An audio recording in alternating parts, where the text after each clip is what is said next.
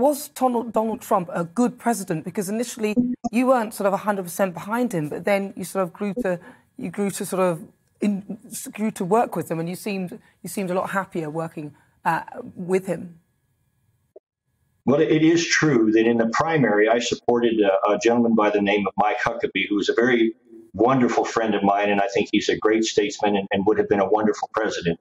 And I grew to support Donald Trump after we actually became uh, connected to each other and actually got to know the man. Because oftentimes, you know, our media here uh, judged or, or tried to diminish Donald Trump based on his tweets.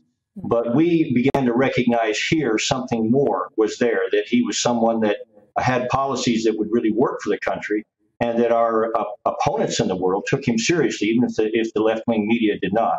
So I just have to tell you, I have grown to be a very strong supporter of Donald Trump. Uh, I don't suggest to you that he is always someone that's able to speak diplomat very well, but in truth, uh, this man, as he said on the interview, does love America.